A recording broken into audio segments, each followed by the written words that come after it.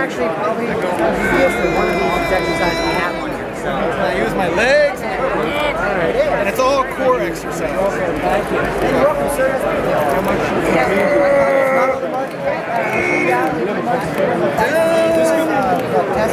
Out with my legs.